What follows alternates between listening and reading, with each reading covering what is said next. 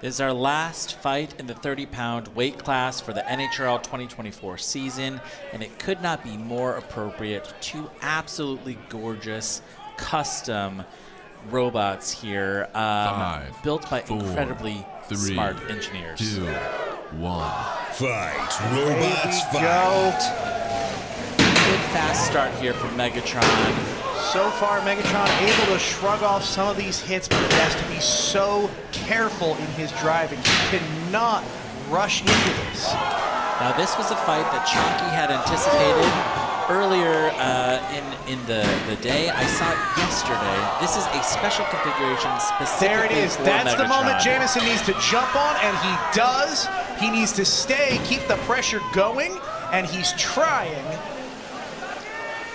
Really, what you need to do is slow down the shell somehow, smash it up against uh, the house bot or against the rail, and then come in and try and get it There onto it its head. again. Here we go.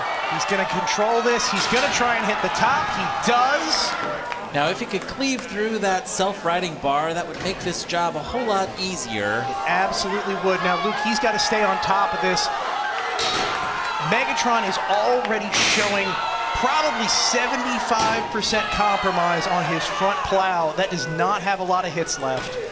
Looks like a big tiger claw just right across the front of the plow on Megatron. Now, we saw a little smoke earlier. It may be that that's the weapon on Chonkiv. Uh, it doesn't seem to be spinning up. It could be that Jameson's just keeping them on the ropes. We don't know yet. Yeah, that shell is not spinning up on Chonky. That said, that whole shell is a tank. It is armored the full way around. Even with 100 hits, it's going to be hard for Megatron to really get a lot of penetration here. A minute 20 left here before we crown a Golden Brett winner here in the 30s. Jameson Go would love to add a second Golden Brett to his trophy case here for Megatron. I see a little bit of smoke coming out of the top of Chonkiv.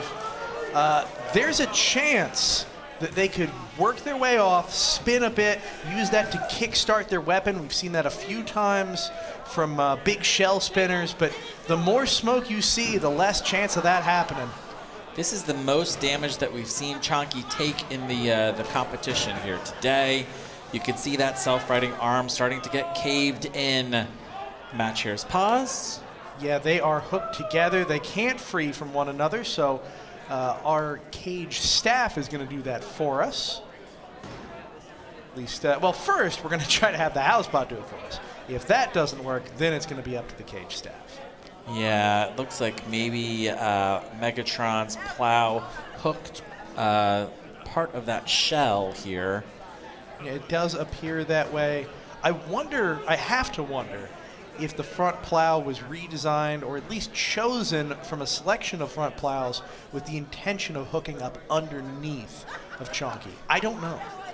Now, these two robots last met in April, and I will tell you, Jameson Go went home to Massachusetts and thought about this fight and this configuration for the last six, seven months. Yeah, yeah, he didn't sleep, didn't eat.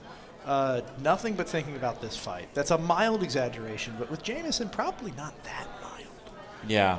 Uh, oof, you can see that is a heavy robot, successfully de-intertwined. We're going to move them apart just a little bit, just enough to show that they are uh, absolutely and unquestionably not entwined with one another. We're going to see what happens when we unpause this fight. Is Megatron going to immediately scoop up Chonky and push it up against the rail again? Maybe land a couple more big hits here on the top. if they want to have a chance, we're gonna need to see Chonkiv like just try to spin up. It needs to happen now. If it doesn't, then this is 100% Megatron's game, and it will take a miracle. All right, that shell has not come back yet on Chonky. That's a lot of movement, but not a lot of movement of the shell. In fact, it may well be seized up. Normally, you'd at least see it spinning uh, passively, Yes. uh, and we are not seeing any of that. Yeah, exactly. It's it's making connection um, with Megatron, uh, bumping up against the rail. You would see it spinning freely. Yeah, you can granted, remember you. Oh, this is interesting. Remember, if uh, the two get entangled again, or rather, if Megatron can't uh, undo its pin a second time, that could be a problem for Megatron. It's going to try awfully hard. It does. It succeeds. Uh, but yeah, that could. We're coming down to the last 10 seconds here. This is going to go to a judge's decision, but that was a pretty dominant performance from Jameson Go and Megatron. I think that Megatron will be going home tonight with a second Golden Brett, winning the Golden Brett in 2021, very likely winning the Golden Brett here in 2024. Jameson Go showing that this unconventional design has legs in 2024, taking it the distance. All right, oh. guys, we have an official decision showing up right here at the bottom of your screen. Let's check it out. Here it is. Your winner, Jameson Go and Megatron. Daniel Vale and his team should hold their heads high. That was a beautiful showing throughout the season from them. But let's toss it to Chris right now. Hey guys, congratulations to Chonky. I mean, you, you had a great showing today. Uh, JMO, congratulations, your 30 pound winner here at the NHRL Championships. What's going through your mind right now? Many things. First thing I want to say, I'm really happy to see Chonky and the Robo Jackets here in the finals. I'm a uh, Georgia Tech alum myself, and to see what the organization, what the club has done uh, this is an incredible piece of engineering. I'm really happy to see them here, to go against them. Uh, the second thing that's going through my mind, I had had so much help today from Aaron, from Liz. My parents are here, and without them, we couldn't have gotten the Megatrons ready for any of the fights. We had some really tough repairs we had to do earlier in the day.